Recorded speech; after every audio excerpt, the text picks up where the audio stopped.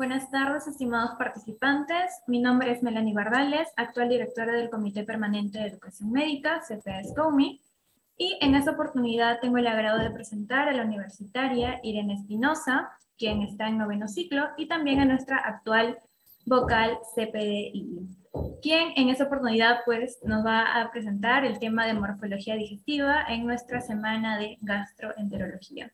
Irene, muchas gracias por aceptar la invitación y te doy el pase para que puedas comenzar. Genial. Bueno, muchas gracias, Melanie, a ti por la invitación. Eh, ¿Qué tal, chicos? Buenas tardes. El día de hoy, así tal cual, como lo ha dicho Melanie, vamos a estar hablando un poquito acerca de la morfología digestiva, ¿no? Como primer día de nuestros Clinical Days de Gastro. Vamos a comenzar a compartir pantalla. A ver. Uy, déjenme mover esto por aquí un momento. Listo.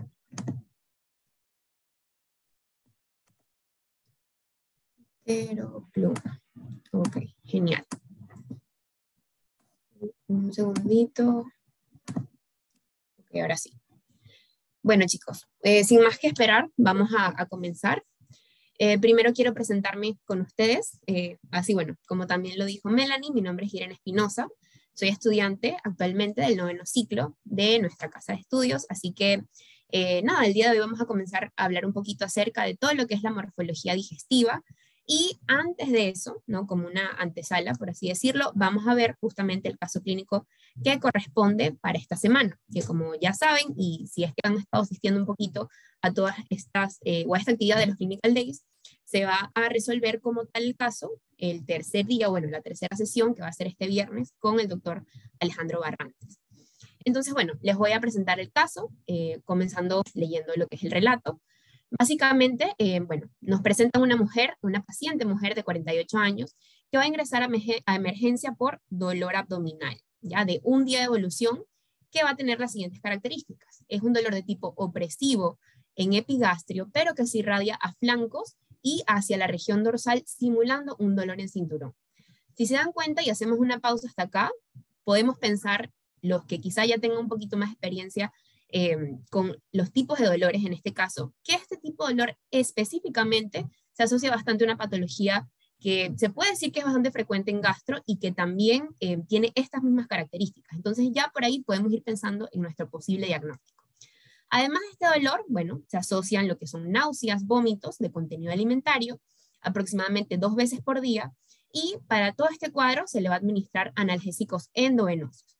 Se solicitan exámenes de laboratorio y se hospitaliza con el diagnóstico de pancreatitis aguda, justamente la patología que me refería hace un ratito. Ya al examen de prueba antigénica em, para COVID-19 se va a obtener un resultado positivo y por ende esta paciente pasa el área COVID. A los tres días se le va a solicitar una tomografía espiral multicorte de la región del abdomen con contraste por sospecha de mala evolución, debido a que comienza con un cuadro de distrés respiratorio. En esta oportunidad, bueno, se evidencia el compromiso del 90% en la tomografía que se ha solicitado con áreas necróticas, informándose como una Baltasar E. Para los que quizás no saben un poquito, los criterios de Baltasar básicamente son criterios tomográficos que eh, en este caso se toman o se tienen en cuenta cuando tenemos casos de pancreatitis aguda. ¿no? Una, Baltasar E, o sea, este criterio específico de Baltasar E, ya no estaría hablando de una evolución no muy favorable a esta paciente, incluso ya podríamos encontrar lo que son colecciones líquidas dentro del parénquima pancreático. Entonces, bueno, ya el cuadro se está agravando, ¿no? Como podemos observar. Cuatro días posteriores a esto va a evolucionar tórpidamente, requiriendo mayor necesidad de oxígeno, con caída marcada de la presión de oxígeno y del PAFI, por lo que va a pasar a UCI y se intuba a esta paciente. A los tres días del ingreso a UCI, la paciente no toleraba la vía oral, por lo cual se le colocó una sonda nasogástrica. Debido a residuo con gasto alto y mala evolución de la paciente, se le colocó una sonda nasoyeyunal a los dos días posteriores de ingreso a UCI. Nuestra paciente estuvo recibiendo antibioterapia con ceftriaxona y metronidazol por bacteriemia, que posterior a ello se rotó a ampicilina sulbactam y después a piperacilina tazobactam, debido a que no presentaba una mejoría ni clínica ni laboratorial. Bueno, nuestra paciente también se va a complicar sobreinfectándose con neumonía por Acinetobacter baumani, la cual, bueno, se le realizó un cultivo y salió positivo. Y em, bueno, esta infección sobre todo la asocian a ventilador mecánico, por lo cual comenzarán con una antibiótico-terapia de amplio espectro con imipenem más colistina. Nuestra paciente, con todo este, bueno, hasta ahora con toda la evolución que tiene, presenta una favorable pero lenta evolución respecto a su problema respiratorio, pero accidentalmente se retira lo que es la zona nasoyunal, por lo cual se va a solicitar una nueva colocación y durante la endoscopía se evidencia compresión extrínseca que dificulta transposición del equipo para la colocación. Finalmente, se solicita control de, bueno, una nueva tomografía abdominal, ¿no? el 10 de febrero de este mismo año, es un caso bastante reciente, de hecho, evidenciando una colección quística de 90 por 110 centímetros aproximadamente la cual inicialmente se dispuso a valorar un posible drenaje debido a que la paciente presentaba picos febriles diarios y tenía resultados de cultivos negativos. Y dentro de una junta médica se concluye drenaje por punción percutánea por radiología intervencionista, la cual se efectiviza a los cinco días posteriores de la tomografía, hallándose una colección de 56 cc de contenido, motivo por el cual no se realiza dicho procedimiento. Cabe resaltar que nuestra paciente persiste con los picos febriles.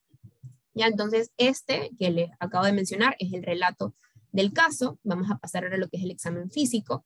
Nuestra paciente, bueno, presenta un aparente regular estado general, regular estado nutricional y regular estado de hidratación. En cuanto a lo que es la piel y faneras, bueno, la piel se encuentra eh, tibia, se encuentra elástica y se encuentra húmeda, con un llenado capilar menor a 2 segundos, no presenta palidez y no presenta ictericia. Con respecto al aparato respiratorio, su murmullo vesicular pasa en ambos campos pulmonares, no presenta rales ni otras alteraciones. Con respecto al aparato cardiovascular, sus ruidos cardíacos son rítmicos y tampoco presenta soplos. Y en lo que es el abdomen, pues va a contener, o va a presentar, mejor dicho, un abdomen globuloso con los ridros aéreos presentes, ¿no? Es blando, depresible, está timpánico y no doloroso a la palpación superficial, pero se encuentra doloroso a lo que es la palpación profunda, específicamente en epigastrio y en hipocondrio derecho. Con respecto al sistema nervioso central, se encuentra lúcida, orientada en tiempo, espacio y persona, con una escala de Glasgow de 15 sobre 15 puntos, por lo que podríamos concluir que nuestra paciente al menos eh, no tiene alteraciones de la conciencia, ¿no? Propiamente. Dicho esto, chicos, este, y ya viendo un poquito de manera general lo que es el caso, aquí les presento esta tabla que también formaba parte del caso, lógicamente, con todos los índices de los diferentes valores, diferentes exámenes eh, laboratoriales que le han hecho a lo largo bueno, de toda la estadía de, de, esta paciente en el hospital. Y se los voy a dejar aquí un ratito para, si quieren, no sé, hacerle screenshot, quizá evaluar justamente la mejoría de algunos valores. Hay otros valores que quizá empeoran, solamente con ver los valores de la milasa y la lipasa pancreática, pues ya creo que podemos ir pensando que de hecho, inicialmente estos fueron los valores que dieron, por así decirlo, el resultado positivo o confirmaron el diagnóstico de la pancreatitis aguda que tenía nuestra paciente. Sin embargo, como podrán ver, y obviamente no les voy a detallar uno a uno porque perderíamos un poquito de tiempo, pero como verán, hay resultados que sí están un poquito elevados, están alterados, como las enzimas hepáticas, por ahí vean a la glucosa, por ahí vean a los leucocitos. Entonces, em, nada, les dejo esta tablita, voy a borrar esto por acá por si quieren hacerle un screenshot y poder verla mejor, porque como saben, no va a ser el único día donde vamos a ver este caso, también el miércoles tenemos otra ponencia donde también se les va a presentar de nuevo un poquito el caso para que sigan pensando un posible diagnóstico. Em, y finalmente el viernes, como saben, pues tendremos ya la resolución de dicho caso. Entonces, nada, voy a terminar acá con lo que es el caso clínico para dar inicio propiamente a la ponencia, que es la morfología del aparato digestivo como tal. Em, vamos a comenzar ya, evidentemente, hablando acerca del aparato digestivo y de sus partes, las más predominantes en este caso, comenzando con lo que es el tubo digestivo, el cual está formado por el esófago, luego por el estómago, luego por el intestino delgado y finalmente por el intestino grueso. Así como vamos a ver lo que es el tubo digestivo, un poquito en cuanto a su morfología, tanto macro como microscópica, vamos a hablar acerca de dos glándulas muy importantes, que de hecho que no son las únicas del aparato digestivo, pero em, son quizá unas de las más representativas, como lo son el hígado y el páncreas, que si se han dado cuenta y han estado prestando atención, ¿no? y bastante atentos a lo que viene a ser el caso, viene a ser como que la glándula principal ya de, de toda esta Entonces vamos a explayarnos un poquito al final con el páncreas. Sin embargo, como lo hemos mencionado, es la morfología digestiva en sí, entonces vamos a hablar un poquito acerca de los otros órganos, y ya, hemos, ya les he mencionado. Entonces, chicos, vamos a comenzar con lo que es el esófago.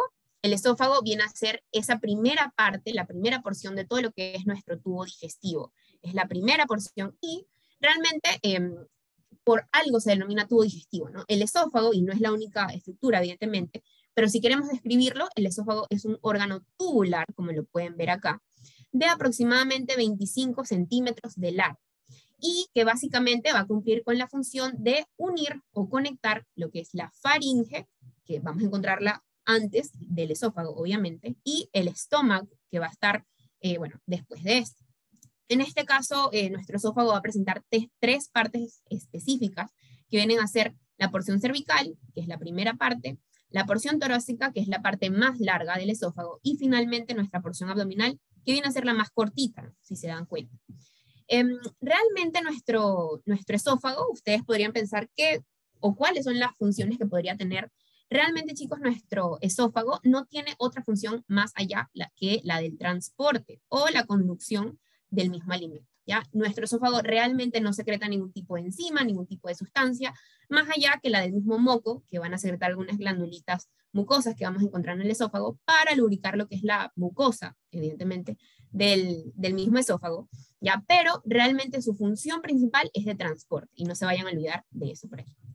Algunas características que tenemos que tener en cuenta de nuestro esófago realmente, bueno, principalmente vamos a tener lo que es la línea Z. La línea Z viene a ser esta estructura que encontramos acá, donde básicamente es la unión eh, del... Uy. Familiar de Lila, ¿de qué distrito viene? Ya, chicos, cuidado con, con los audios por ahí. Bueno, continuamos. Eh, les mencionaba, ¿no? Que la línea Z viene a ser nada más que esa unión entre lo que es el esófago y el estómago. Si por ahí se acuerdan un poquito de su histología, bueno, justamente es en este lugar donde se ocurre o, se da lo que es la transición de epitelio. Entonces, eso se va a dar justamente en la línea Z.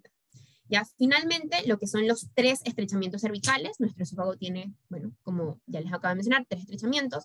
Em, el primero, eh, o sea, el primero, mejor dicho, es el que se denomina cervical, consiste del esfínter esofágico superior.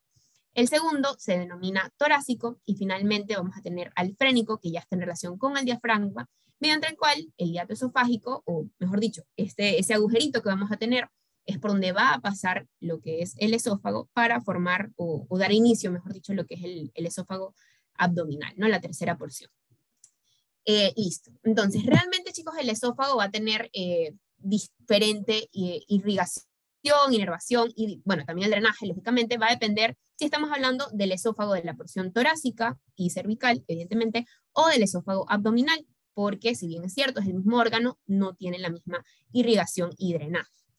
Em, acá les, bueno, no, les, les coloqué básicamente un resumen de lo que es la irrigación y el drenaje de nuestro esófago abdominal empezando con la arteria gástrica izquierda, que viene a ser una rama de lo que es el tronco celíaco, recuerden por ahí, y finalmente la arteria frénica izquierda, en este caso sale de frente desde nuestra aorta abdominal. Finalmente, el drenaje va a estar con respecto a la vena gástrica izquierda y derecha y algunas venitas esofágicas que van a estar, eh, bueno, no recibiendo esa sangre en cuanto eh, a los vasos venosos, básicamente.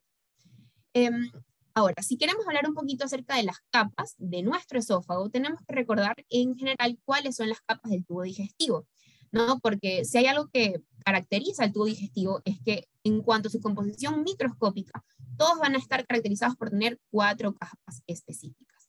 Ya vamos a tener desde lo más interno hasta lo más externo, vamos a tener a lo que es, uy, espérense que por aquí me sale la, la barrita del zoom, ya vamos a tener a lo que es la mucosa, ya que es la capa más interna, luego la submucosa, luego la capa muscular y finalmente la capa serosa o adventicia.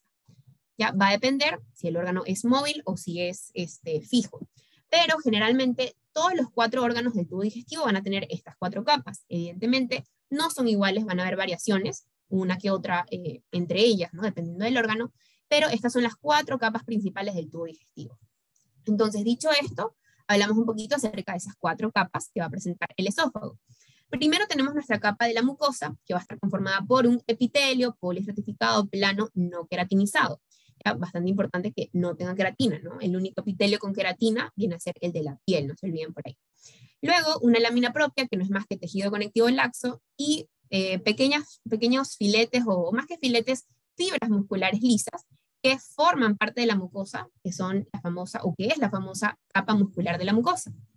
Luego vamos a tener una submucosa con tejido conectivo denso irregular, fibras elásticas y glandulitas esofágicas, que son las que les mencionaba, que producen ese moco indispensable para lubricar todo lo que es la mucosa como tal em, de nuestro esófago.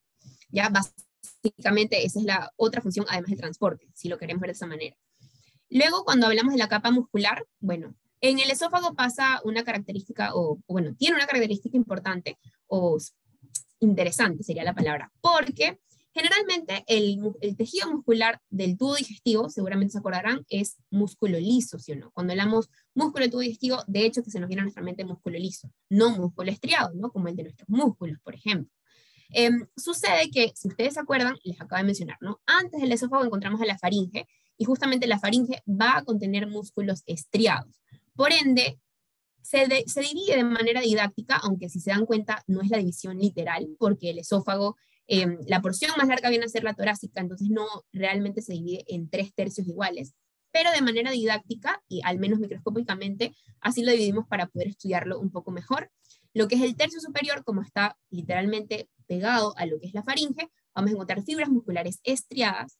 Ya en el tercio medio, prácticamente estaríamos con un reemplazo gradual de estas mismas fibras musculares. Y finalmente, el tercio inferior, si hablamos netamente, por ejemplo, del esófago abdominal, ya estaríamos encontrando músculo liso predominantemente.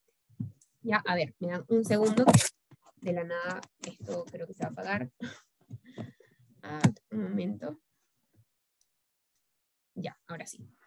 Genial. Bueno, em, eso es lo que vamos a encontrar en cuanto a, las capas musculares. Recuerden de todas formas que eh, el músculo como tal en el tubo digestivo es cile, tiene esta conformación, dos capas, la capa circular interna y la longitudinal externa, ¿no? en general, de manera general. De ahora en adelante, es decir, estómago, intestino delgado y grueso van a ser cile y van a ser músculo liso, ¿no? obviamente. Em, terminamos con una capa adventicia. ¿Por qué? Porque recuerden que el esófago es un órgano que se va a encontrar hacia la parte posterior de nuestro organismo. Entonces, realmente es un órgano fijo, no va a tener movilidad. O básicamente la movilidad que va a tener es en su pequeño, pequeña porción de esófago abdominal, pero realmente la gran mayoría de lo que es el esófago es un órgano fijo. Entonces, por eso hablamos predominantemente de una adventicia, pero es cierto, a, nivel de lo que es em, el esófago abdominal, estaremos encontrando serosa, que son esas dos eh, capitas, dependiendo de si son fijos o móviles, que es lo que vamos a encontrar en cuanto a sus capas.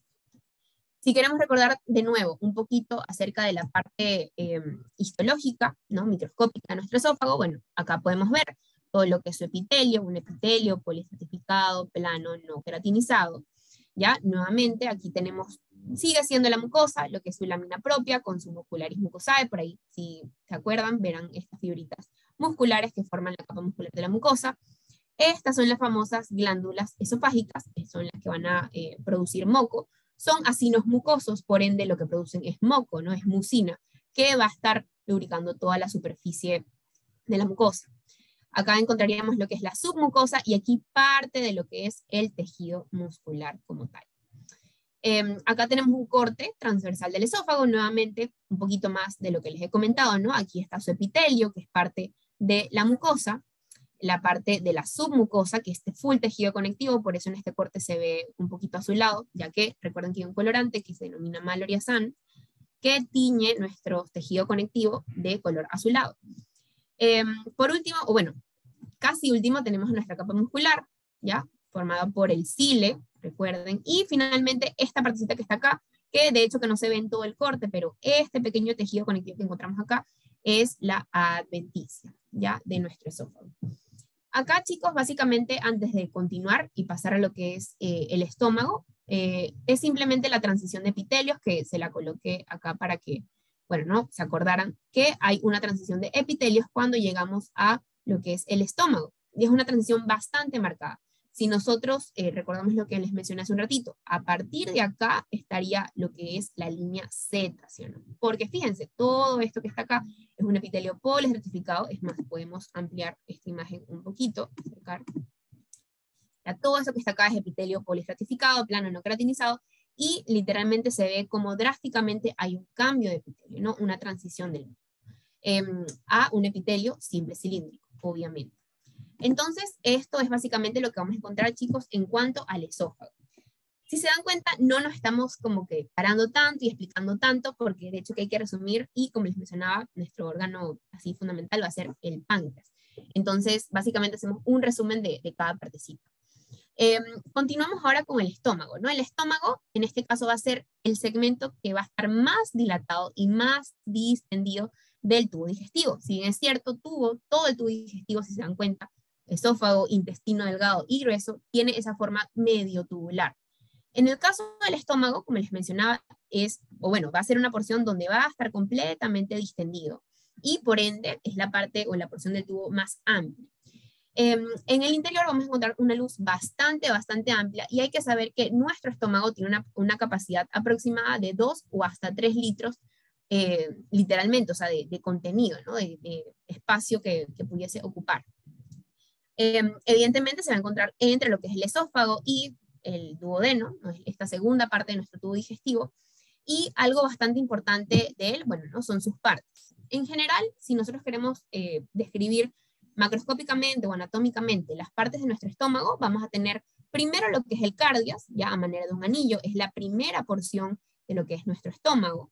Luego vamos a tener al fundus o al fondo gástrico, que es la porción más elevada, lo vamos a encontrar como la parte de la cúpula del estómago. Luego tenemos nuestro cuerpo gástrico, que es la parte más amplia ¿no? del mismo estómago. Y finalmente tenemos la zona del andro y del conducto pilórico, que ya netamente nos acerca, por así decirlo, a nuestro intestino delgado, que es la siguiente parte.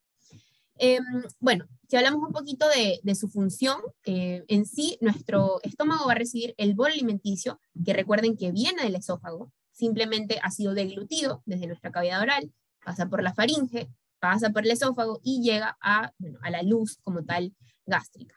En este caso, fíjense que en el interior de la, de la luz gástrica, o sea, si nosotros vemos en la mucosa del estómago, vamos a ver todos, todos estos repliegues de la misma mucosa, que básicamente le dan la función a que cuando este estómago se llene de contenido del mismo bolo alimenticio que vamos a estar deglutiendo y deglutiendo a medida que comemos, eh, va a lograr expandirse y por eso va a alcanzar desde 2 hasta incluso 3 litros aproximadamente em, de tamaño.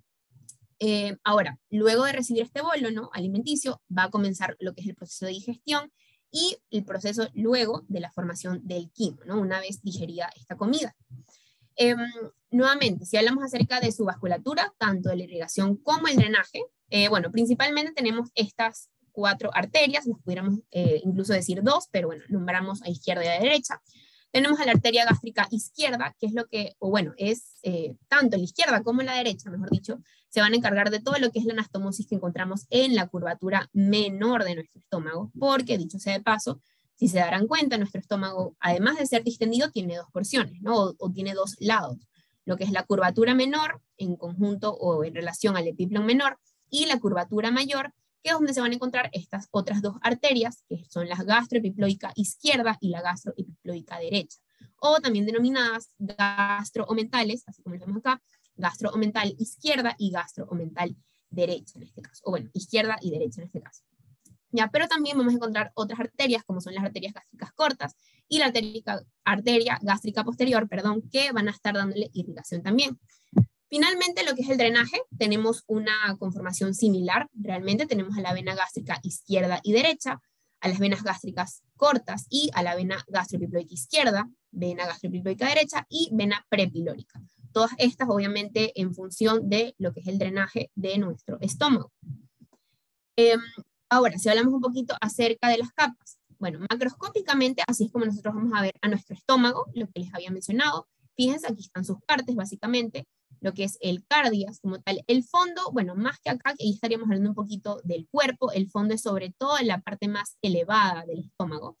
Em, en la parte del cuerpo es donde más se evidencia lo que son los pliegues y repliegues de la mucosa, que les mencionaba hace un ratito que se expanden cuando el estómago está lleno, Y finalmente, bueno, la porción del antro y el conducto pilórico o el píloro para dar este paso a lo que es el duodeno.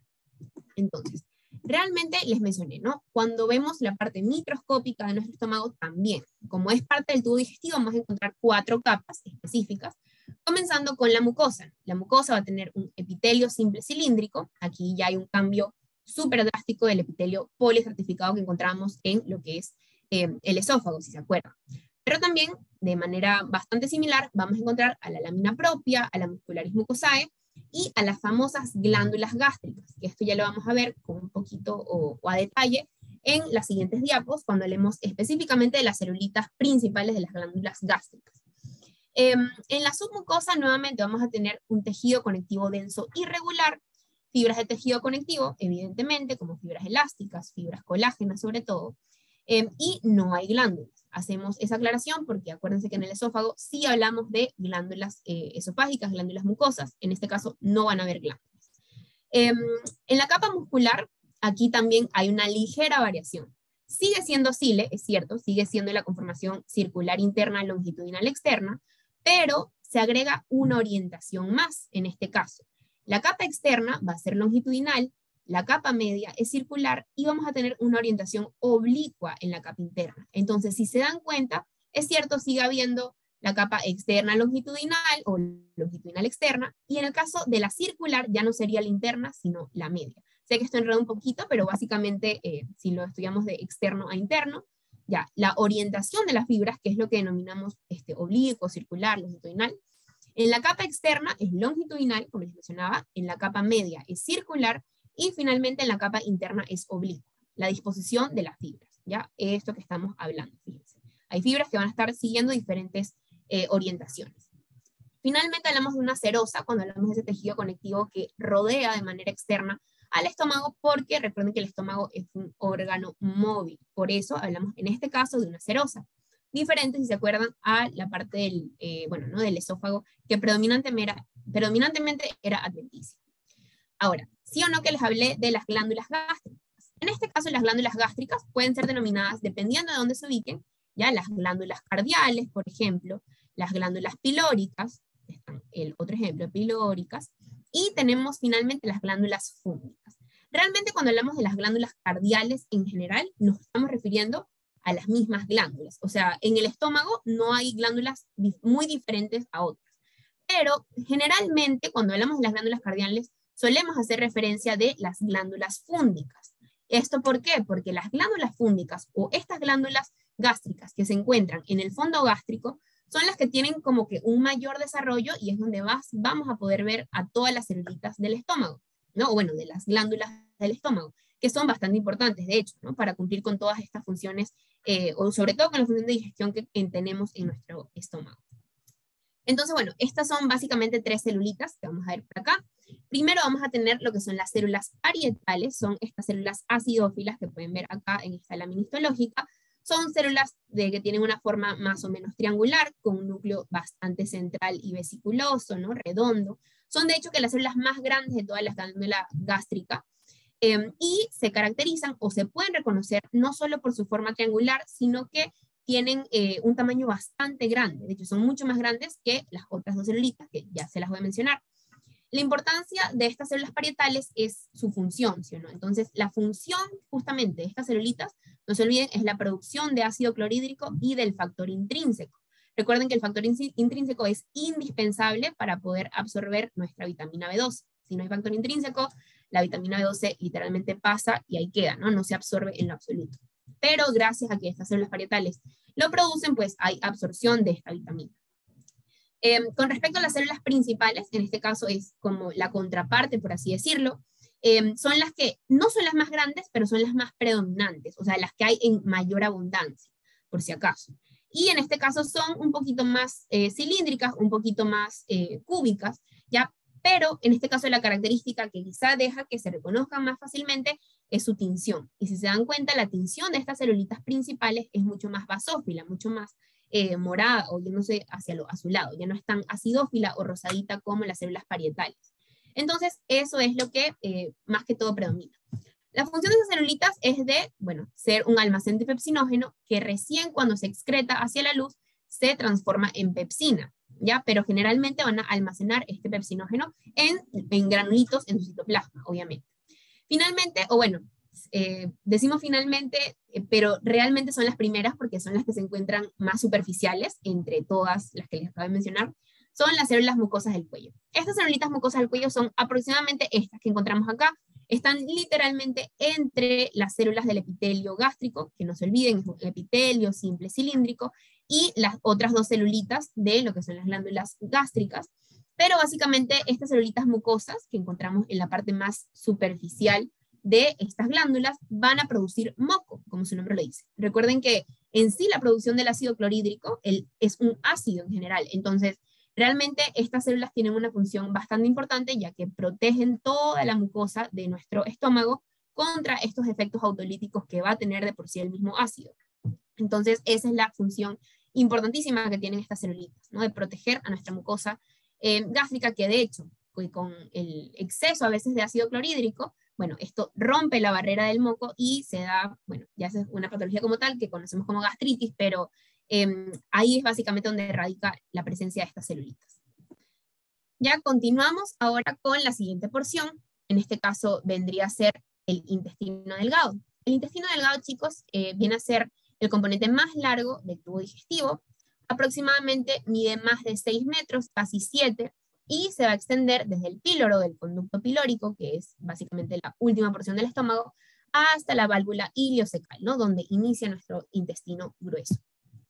Em, en este caso se van a reconocer tres porciones. Tenemos a nuestro duodeno, que básicamente a su vez se divide en cuatro porciones, no se olviden. Tenemos a la primera porción, que es la porción superior, que es bastante corta. Tenemos a nuestra segunda porción, que es descendente, y es donde vamos a encontrar a la ampolla de váter, eh, una parte bastante importante, porque también vamos a hablar de, ella cuando lleguemos al páncreas, evidentemente. Tenemos a nuestra tercera porción del estómago, que es eh, la parte horizontal o inferior, también se le denomina, y finalmente la cuarta porción, que es la porción ascendente, ¿no? Ya básicamente eh, a, puertas de iniciar lo que es el yeyuno. El yeyuno, por su parte, es la segunda, bueno, parte, valga la redundancia, del intestino delgado, y finalmente tenemos al hilo, ¿no? Ya la última, última porción que conecta con el intestino grueso como tal. Si queremos hablar de la irrigación, cada parte del intestino delgado va a tener una irrigación y un drenaje en específico. Ya quizás el de Juno y el Ilion sí eh, o sea, son más similares entre ellos, pero eh, lo que es el duodeno no. Entonces vamos aquí a, a, recordar un poquito lo que es la irrigación y el drenaje de cada uno. Con respecto al duodeno, chicos, bueno, su irrigación se da gracias a la arteria pancreatoduodenal superior, que es rama de la gastroduodenal, no se olviden por ahí, y la gastroduodenal, o perdón, la pancreatoduodenal inferior, que es rama de la arteria mesentérica superior.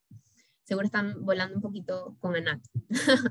Em, con respecto al drenaje, en este caso, eh, bueno, drenan a venitas duodenales, que a su vez, bueno, drenan en distintas zonas, pero específicamente lo que es la vena porta, la vena mesentérica superior y también a la vena esplénica, perdón.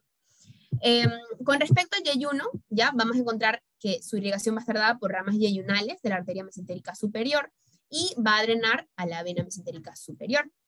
Con respecto al ilion, eh, ya finalmente para terminar esta parte, su irrigación va a estar dada por ramas rectales, nuevamente de la arteria mesentérica superior, y el drenaje por la vena mesentérica superior.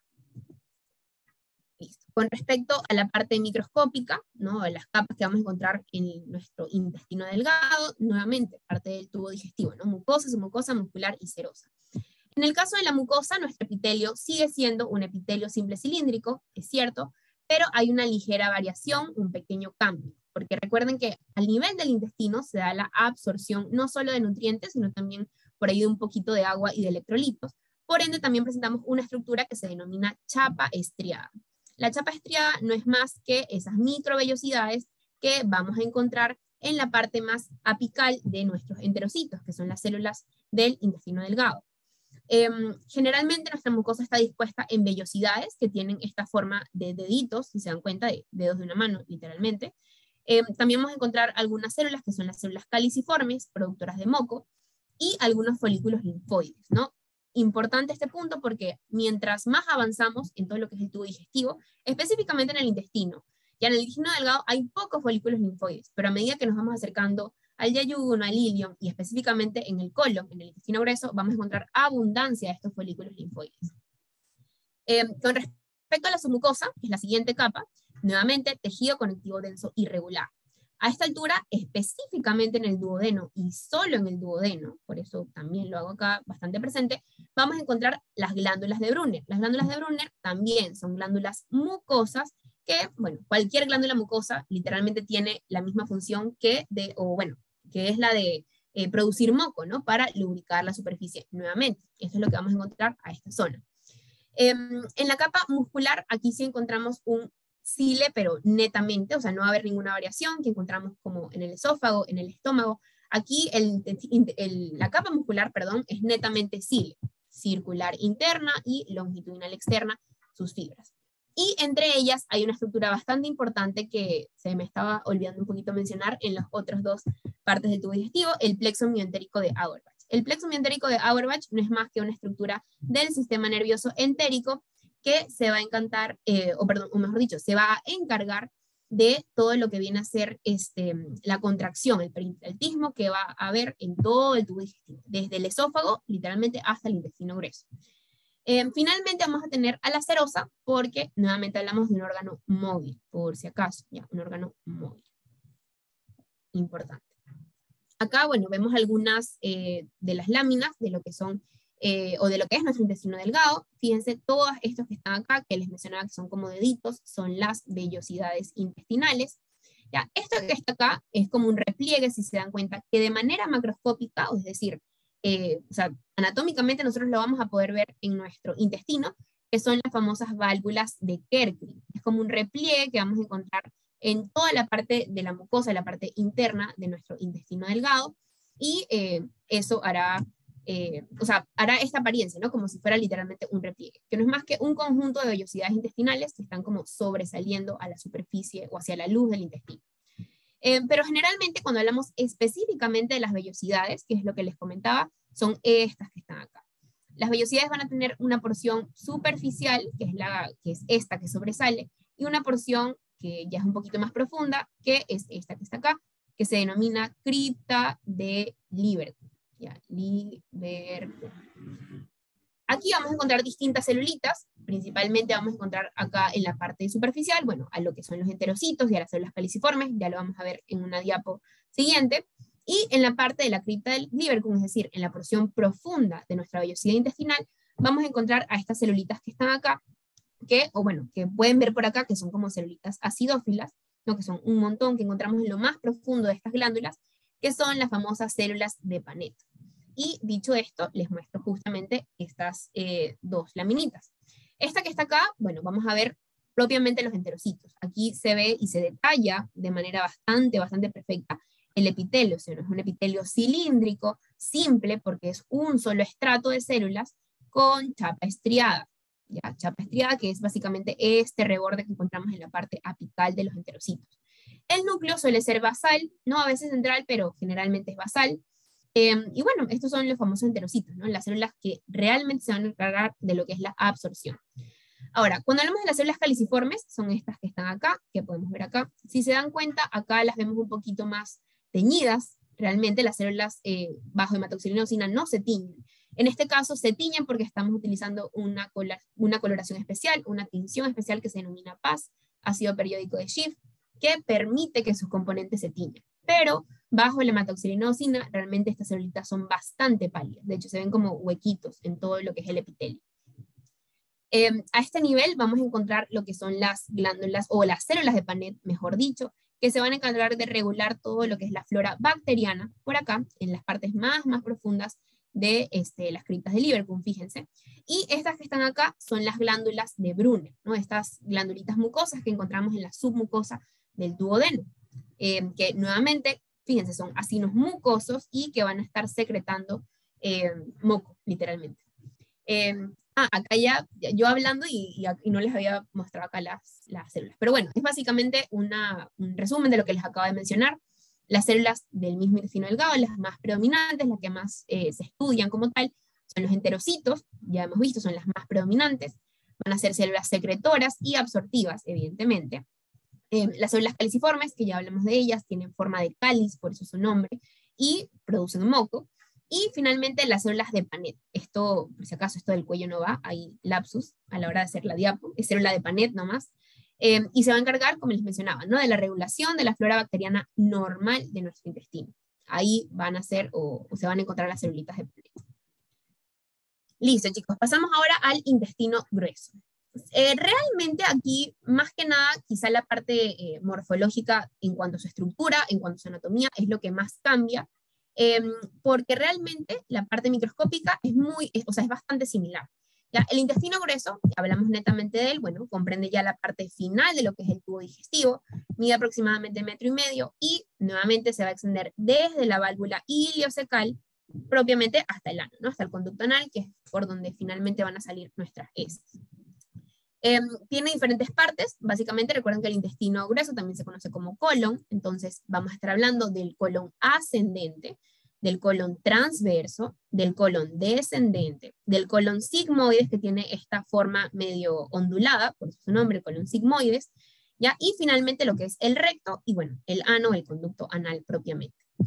Em, tiene una función bastante importante, la del intestino grueso, que es la formación de las heces, pero también la absorción de agua y sodio, por si acaso. El sodio siempre es al agua, entonces cuando hablamos de absorción de agua, también y directamente estamos hablando eh, de absorción de sodio. ¿ya? Pero también, nuevamente, como les mencionaba, va a cumplir con la eh, función de que forman las heces como tal. Em, su irrigación y drenaje, ya la parte, bueno, ¿no? de la vasculatura, Generalmente, bueno, encontramos un montón de ramitas de arterias, pero lo podríamos definir o eh, resumir, mejor dicho, en la arteria mesentérica superior y la arteria mesentérica inferior. Pero que a su vez vamos a encontrar, dependiendo de si es uno o si es la otra, estas ramitas, ¿no? La idiocólica, la pendicular para el apéndice, la misma arteria mesentérica superior, ¿ya? La cólica izquierda, las sigmoideas, la rectal superior, media e inferior. Finalmente, el drenaje se va a dar hacia la vena mesentérica inferior, ¿ya? Esta a su vez drena en la vena esplénica, que con la vena mesentérica, eh, o mejor dicho, eh, estas dos, la vena mesentérica inferior y la vena esplénica, es lo que forman el tronco espleno-mesentérico y a su vez se unen con la vena mesentérica inferior, bueno, dando origen a nuestra famosa vena porta, que como sabemos es la vena que eh, mayor sangre le va a llevar a nuestro hígado, generalmente. Em, en cuanto a las capas, nuevamente hacemos, bueno, una revisión de, ellas, pero no hay mucho que acotar, mm, o sea, mucho más allá de lo que vimos en intestino delgado. Nuevamente es un epitelio simple, simple cilíndrico con chapa estriada, eso no, no varía. Tenemos de nuevo nuestras vellosidades intestinales. En este caso van a haber abundantes células caliciformes, porque recuerden que les dije, ¿no? A medida que más vamos avanzando en el tubo digestivo, aumentan esta cantidad de células caliciformes, simplemente con la eh, ayuda o con la función de lubricar esta zona de nuestra mucosa. También los folículos linfoides aumentan bastante. En lo que es el conducto anal y específicamente en el ano, hay un cambio de epitelio nuevamente, así muy similar a lo que vimos entre el esófago y el estómago. A nivel del conducto anal vamos a encontrar un cambio que inicialmente es un epitelio polistratificado plano no queratinizado, ya inicialmente pero que saben que en la, en la región, mejor dicho, que es perianal, es decir, alrededor de todo lo que es el conducto anal, vamos a encontrar es piel. Entonces, ya esa piel ya es netamente epitelio, polistificado, plano, queratinizado, ¿no? Ahí sí, ahora hablando de la queratina.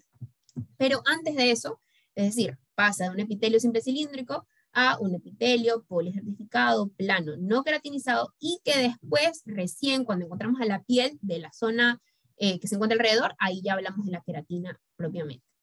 En cuanto a las mucosas, chicos, bueno, nuevamente, tejido conectivo denso irregular, no encontramos glándulas a estas alturas, glándulas mucosas, obvio, y aquí donde vamos a encontrar un plexo hemorroidal, que es lo que forma, bueno, cuando en este caso se inflaman bastante, se dilatan, las famosas hemorroides a esta altura de eh, la submucosa. Em, en lo que es la capa muscular, nuevamente nuestro cile, circular interna, longitudinal externa, con nuestro plexo miotérico de Auerbach, y finalmente la serosa, que generalmente va a recubrir a todo nuestro intestino grueso, pero específicamente en el recto vamos a ver un reemplazo de esta serosa por adventicia, porque ya cuando hablamos la porción final del recto y ya generalmente del conducto anal, ahí sí ya es netamente adventicia como tal. Pero generalmente encontramos serosa, no se olviden, y en la parte ya más final del intestino grueso es que encontramos lo que es la adventicia.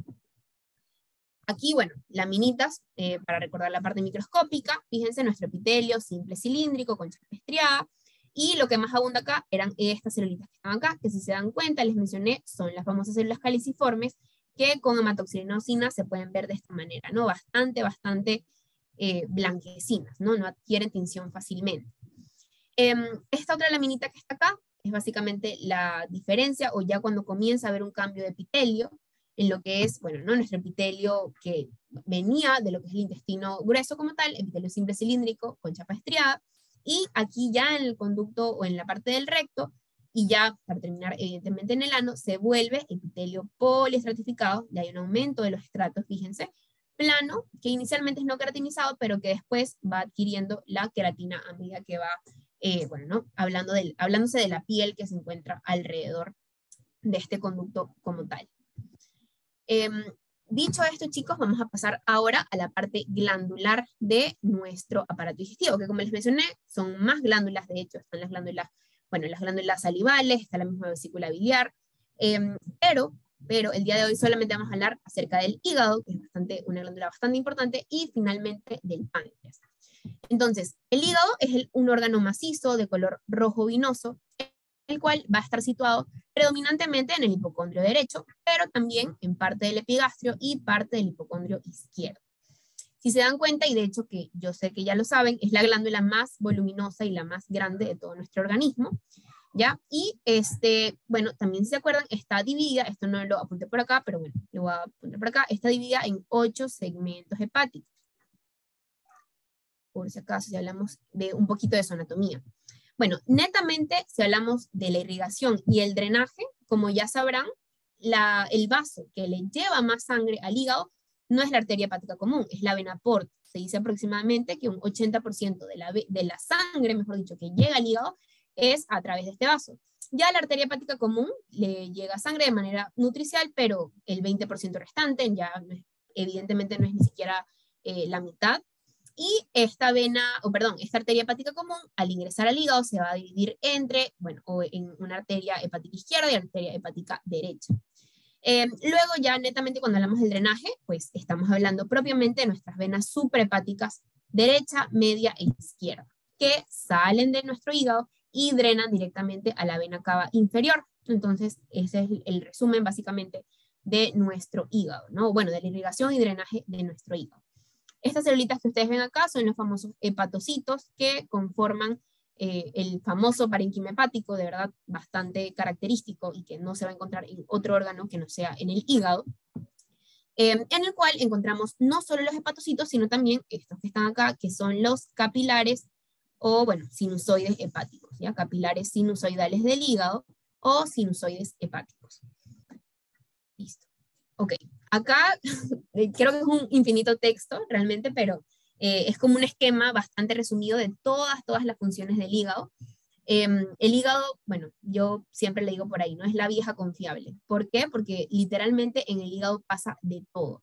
Ya, es, es literal, es también por ahí he leído, ¿no? Le dicen el laboratorio bioquímico de nuestro organismo. ¿Por qué? Porque ocurre un montón de procesos metabólicos incluyendo el metabolismo de los lípidos, de los carbohidratos, de las proteínas como tal, sintetiza proteínas. Em, además de esto, produce bilis, que es importantísimo para nuestra digestión, específicamente cuando hablamos, eh, o bueno, cuando ya se habla a detalle de lo que es la vesícula biliar.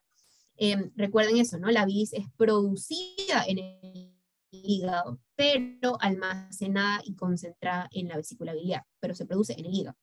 Eh, luego, cuando hablamos de eh, si almacena algo, sí, es un depósito de glucosa, o sea, el glucógeno como tal, de vitamina B12, hierro, cobre, entre, otros, eh, entre otras sustancias. También ayuda a transformar el amonio en urea, ayuda con la desintoxicación sanguínea y sintetiza algunos factores de coagulación, bueno, importante evidentemente para la hemostasia de nuestro organismo como tal. Entonces, de hecho que no son todas, son, es un resumen bastante general de las funciones del hígado, pero que este, no se vayan a olvidar, el hígado tiene una participación muy importante no solo en nuestro sistema o en aparato digestivo, que lo podríamos denominar como la parte exocrina. El hígado como tal también tiene una parte endocrina en el sentido de que hay muchas sustancias que secreta que van de frente a nuestro torrente sanguíneo y que obviamente tienen la función de controlar eh, o de regular nuestro sistema eh, o bueno, torrente sanguíneo internamente hablando, me refiero. Entonces también podríamos denominar hígado como una glándula tanto mixta, es decir, que tiene funciones tanto internas como externas, en este caso para el aparato digestivo. Eh, si vemos y recordamos un poquito ¿no? la parte histológica del hígado, eh, antes de hablar netamente del lobulillo hepático, del parénquima hepático, eh, les quería mostrar esta estructura que vamos a encontrar justamente en cada ángulo de nuestro lobulillo hepático. Recuerden que en sí el hígado se va a dividir en lobulillos, ¿ya? Y estos lobulillos que vamos a encontrar, uy, sorry, estos lobulillos que vamos a encontrar en nuestro parénquima tienen una forma de hexágono. Entonces, en cada ángulo, evidentemente en la parte exterior, vamos a encontrar a este espacio porta, que es básicamente la confluencia de tres estructuras bastante importantes, dos vasitos y un conductillo biliar. Específicamente, bueno, primero vamos a tener esta vénula que está acá, todo esto que está acá es una vénula, rama de la vena porta.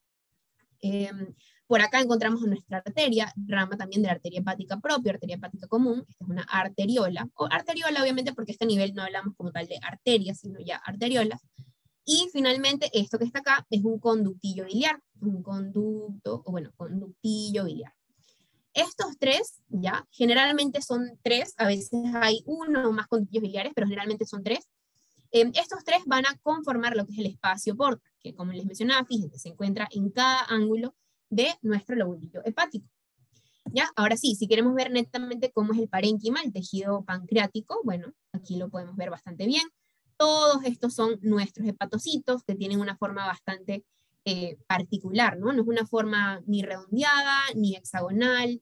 Em, tienen una forma un poco variable realmente, poligonal, incluso se les dice que tiene forma, forma poligonal y están ubicados o están, por así decirlo, eh, dispuestos en, a manera de trabéculas, ¿no? Estas trabéculas hepáticas se anastomosan, si se dan cuenta, una con otra a lo largo de todo, todo el hígado. Y de hecho, algo que quizá no les mencioné al inicio, es que cada lobulillo hepático tiene, sí o no, forma de hexágono, y en la parte del centro vamos a encontrar una vena, que se denomina vena centrolobulillar. Entonces, todas estas trabéculas, si se dan cuenta, tienen como que esta orientación, ¿no? Como una orientación radial, si se dan cuenta. Bueno, esta orientación radial la hacen alrededor de todo lo que es nuestra vena centrolobulillar, eh, por cada lobulillo hepático. Entonces, esa es otra de las características que vamos a encontrar en nuestro parénquima hepático. Eh, cuando hablamos de parénquima, obvio, hablamos de la parte funcional, ¿no? El estroma es netamente la parte de tejido conectivo, ¿no? La parte de soporte pero el parénquima es la parte funcional. Entonces, les mencionaba que en el parénquima vamos a encontrar dos estructuras predominantemente. Los hepatocitos, que son la célula principal, los que hacen literalmente todo, ¿no? la, vieja confiable que ya mencionamos hace un ratito, y eh, también estos espacios en blanco que encontramos entre las trabéculas son los sinusoides hepáticos, ya por si acaso. Por si acaso. Entre ellas, acá no les he traído una laminita, eh, que es bastante chévere, pero entre ellos vamos a encontrar a los macrófagos del hígado, que, tienen un nombre bastante particular, no son como cualquier tipo de macrófago. Los macrófagos que se encuentran en el hígado, que son justamente los capaces de fagocitar todas estas partículas extrañas que ingresan a nuestro hígado, se denominan células de Kupfer, por si acaso. Por ahí quizá ahora ya sepan cuál es la respuesta correcta. las células de Kupfer son los macrófagos que encontramos en nuestro parénquima hepático, por si acaso. Em, y ya, básicamente eso es lo que vamos a encontrar en todo lo que es nuestro parénquima. Y ahora sí, chicos, ya prácticamente para finalizar un poquito lo que es el páncreas, y aquí sí nos vamos a, a detener un poquito más con cada parte, porque bueno, como les mencioné, es, la, es la, la, glándula reina, en este caso de esta ponencia. Vamos a comenzar diciendo que eh, nuestro páncreas es una glándula alargada, así como la pueden ver, y que es mixta es decir, tiene una función endocrina bastante específica y una función exocrina, también bastante específica, ¿no? que si hablamos de lo que viene a ser eh, el aparato digestivo, de la morfología digestiva, es la que más nos importa. Ya en general lo vamos a dividir a este páncreas como cabeza, cuerpo y cola, ¿no? en nuestra parte ya más distal, por así decirlo. La cabeza, si se dan cuenta, es una porción bastante expandida, bastante circular, que vamos a encontrar que está alrededor, o mejor dicho, encontramos alrededor de ella a lo que es el duodeno, si se dan cuenta. Todo esto es el duodeno, ¿no? Con sus porciones como tal. Entonces, eh, el duodeno va a estar envolviendo la cabeza del páncreas. Luego vamos a tener nuestro cuerpo como tal, que atraviesa la línea media de nuestro organismo, la atraviesa como tal, y finalmente la cola, que se extiende y va a estar en relación a lo que es nuestro vaso, en contacto con nuestro vaso. Ahora, en sí, si queremos hablar ya anatómicamente de las, algunas estructuras importantes que encontramos en nuestro páncreas, tenemos que hablar primero, evidentemente, del conducto pancreático principal o también conocido como conducto de Wilson. ¿ya? Este conducto es literalmente el conducto pancreático principal y que va a atravesar a toda esta glandulita desde la cabeza, o mejor dicho, desde la cola, pasando por el cuerpo y llegando a la cabeza, para poder, eh, bueno, ¿no? en este caso, desembocar a la altura de la segunda porción del duodeno, que les mencionaba, ¿no? Es donde encontramos a nuestra ampolla de váter, que en este caso viene a ser otras de las estructuras que vamos a ver. La segunda, vamos a decirlo en, eh, este orden. Ya, esta ampolla de váter, a su vez, tiene alrededor un esfínter, ¿no? Que lo va a estar rodeando, que es el famoso esfínter de Odi o esfínter hepatopancreático. La ampolla de váter también se denomina, ¿no? Ampolla hepatopancreática, que es básicamente, eh, va a estar regulando la salida no solo de las enzimas pancreáticas y en sí del jugo pancreático que se secreta y que sale a través del conducto pancreático principal, sino también regula la salida de la bilis, ¿sí o no? Que viene en este caso de nuestra vesícula biliar. Ahora, este esfínter de Odi también tiene una función bastante importante, que no solo es permitir la salida ¿no? de estas dos sustancias que vamos a estar eh, recibiendo a esta altura del duodeno, sino también impide la entrada como tal de ese quimo que se ha formado en el, en el estómago y que ahora está pasando a lo que es em, el, intestino delgado. Entonces, permite la salida de las sustancias que tienen que salir, pero también evita la entrada de ese quimo o de cualquier sustancia que se encuentre, en este caso, fuera de lo que es el, em, el páncreas, ¿no? Bueno, de la ampolla de váter, del, propiamente del esfínter de Em, y por último, pero no menos importante, eh, aunque sí, realmente, para ser honesta, sí es un poquito no tan importante, ya porque, eh, y la explicación es porque este conducto pancreático accesorio realmente no lo vamos a encontrar en todas las personas, son pocas personas las que lo tienen realmente, y se denomina conducto pancreático eh, accesorio o conducto de Santorini, ¿ya? Y es un conducto que se va a encontrar, de hecho, en esta imagen no lo podemos observar como tal, lo encontramos yéndose como hacia la parte posterior de nuestro páncreas. Es básicamente un conducto bastante similar a este, solo que em, es accesorio, ¿no? es, simplemente eh, complementario, o la, función es complementaria a la misma función de nuestro eh, conducto pancreático principal. Ya, entonces, eso en cuanto a su morfología y qué vamos a encontrar en su interior como tal. Ahora, hablando netamente de su irrigación y su drenaje, ¿no? y haciendo un poquito más específico. Aquí la irrigación del páncreas va a estar dada por las arterias pancreáticas, la arteria pancreatodenal superior, que se también en la arteria pancreática inferior, que tiene como ramitas, de todas maneras, anterior y posterior. ¿no? Esa es la ligación eh, básica. Hay algunas ramitas de la arteria gastrodenal, que ya la hemos mencionado eh, en el estómago, por ejemplo, Em, finalmente, el drenaje es por las venas pancreatoduenales y por la vena esplénica también, ¿no? Bastante importante porque, bueno, ¿no? Drena todo lo que viene a ser em, nuestra, eh, lo, bueno, relacionado al páncreas. Recuerden que en sí, la circulación portal, quizá no los mencionamos mucho porque, bueno, no era un tema tan, tan principal, ya, pero sí la circulación portal va a estar reuniendo o recogiendo toda esa sangre que proviene del intestino, del vaso, del páncreas, y que mediante la vena porta como tal ingresa netamente al hígado, ¿no? Para ser metabolizada y demás, y luego ser excretada en ese sentido, o bueno, ser simplemente drenada por las venas, em, eh, las venas suprahepáticas, ya que encontramos en la parte más superior y que conectan con la vena cava inferior, ¿no? Cuando hablamos del hígado, obviamente. Em, si hablamos de la función, ya les mencioné, o bueno, les había resumido un poquito, ¿no? Tiene una función, una función mixta, tanto endocrina como exocrina. Si hablamos de la función endocrina, recordemos un poquito lo que son los islotes pancreáticos o el famoso islote de Langerhans. Es el encargado, bueno, ¿no? de producir hormonas importantísimas para la regulación como tal de la glucosa en nuestro organismo, específicamente, bueno, ¿no? la insulina, el glucagón y la somatostatina. Hay más como el polipéptido pancreático, por ejemplo, pero estas serían las tres principales.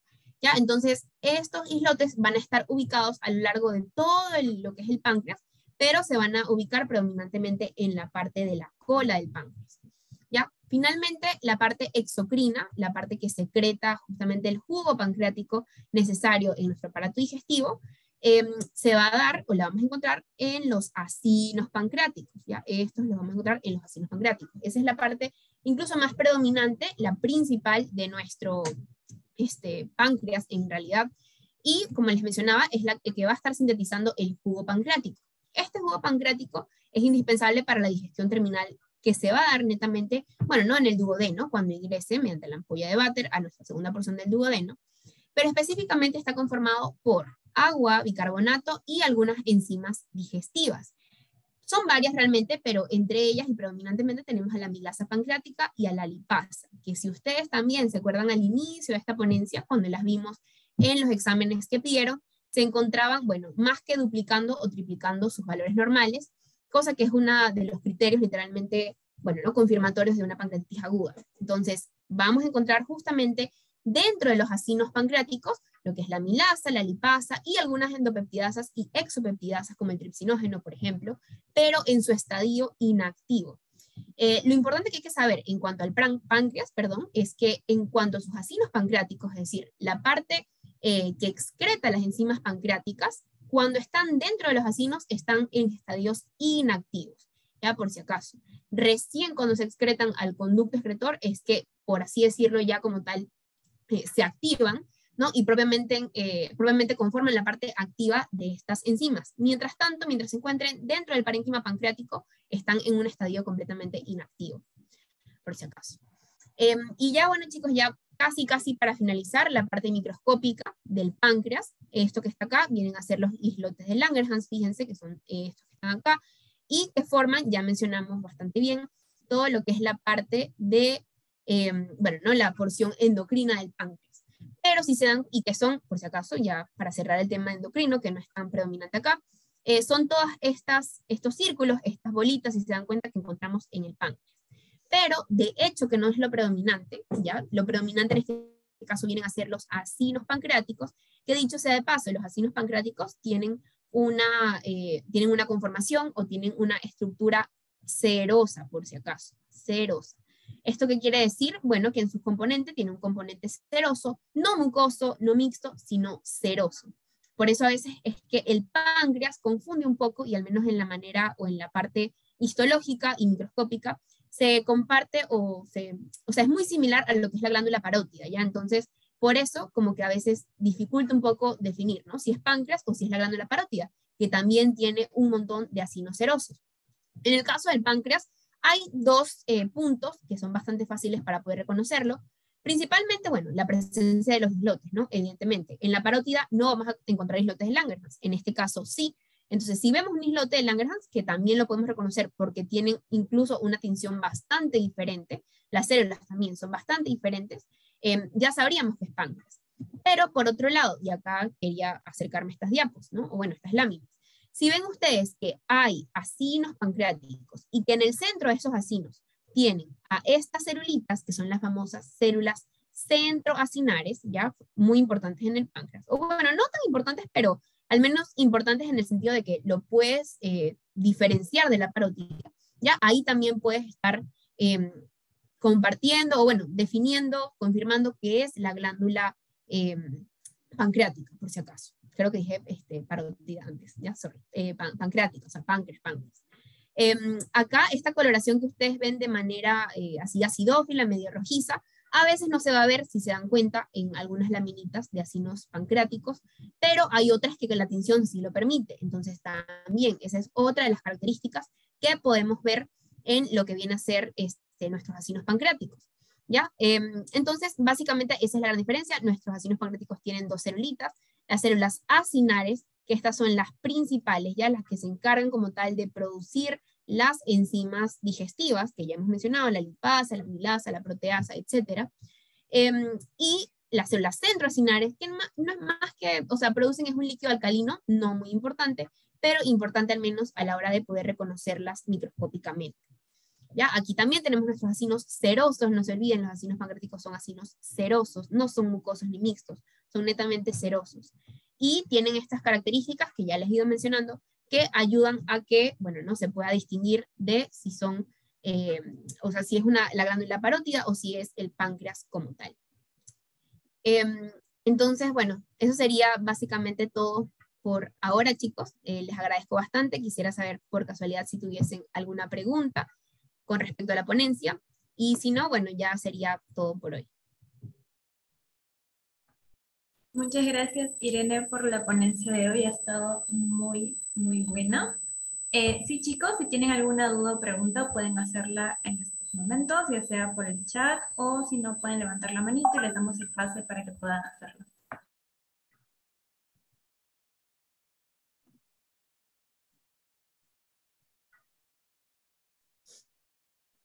Pueden preguntar, chicos, no, no crean que me voy a poner así, normal, les respondo. ¿Ya? si tuviese alguna pregunta al respecto, y bueno, como dijo Mel, si no, pues sería todo por hoy.